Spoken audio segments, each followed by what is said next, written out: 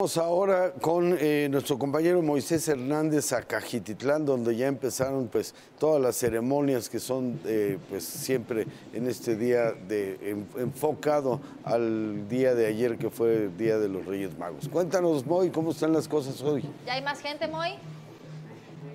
Así es, Anaí Miguel Ángel, buenos días, les saludo nuevamente con gusto y nosotros nos encontramos recorriendo las calles de, Jaqui- de Cajititlán junto con los pobladores de esta localidad que ya se han llenado, se visten de color, de algarabía y de fiesta. Justamente a mis espaldas ya pueden observar ustedes que eh, viene la danza de los Reyes Magos, es una danza de la conquista y son las personas que acaban de salir de la misa que se estaba oficiando hace unos momentos y que salieron ya del templo. Vienen, eh, por supuesto, pobladores de esta comunidad acompañados de una tambora, vienen cantándole las mañanitas a los tres reyes magos, a, Mel- a Melchor, Gaspar y Baltasar. Por supuesto, también eh, la pirotecnia que forma parte de eh, pues este recorrido saliendo del templo de la iglesia, están dando la vuelta en honor a los tres reyes magos, van ahorita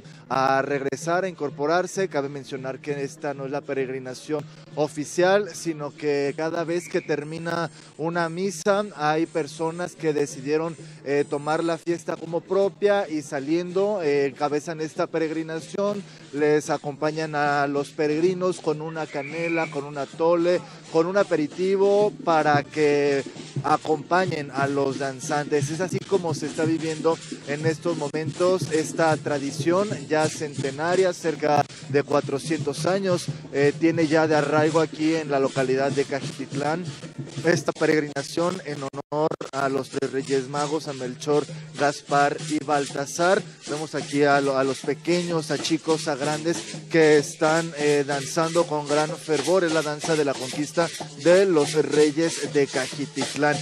Es una danza de, de la conquista que representa justo el momento de esta unión entre eh, nativos de este país y los conquistadores españoles. Atrás ya viene el contingente de peregrinos. Es así como se viste ya de fiesta esta mañana de 7 de enero en la localidad de Cajititlán. Es, eh, pertenece pues al municipio de Tlajomulco de Zúñiga.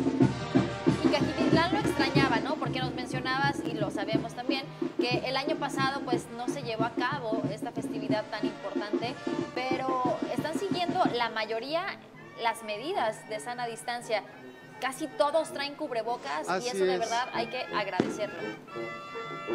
Así es, la mayoría de las personas, eh, los peregrinos, están respetando estas medidas sanitarias que fueron emitidas por parte de las autoridades, específicamente de la Mesa de Salud.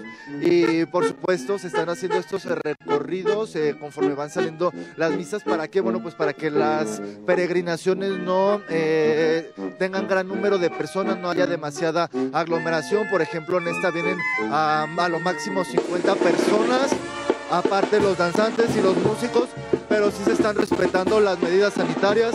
Hay constante sanitización también de la, de la parte del atrio, de los espacios comunes en los que los peregrinos se están colocando para vivenciar de cerca esta tradición. Gracias, Moy, por el enlace.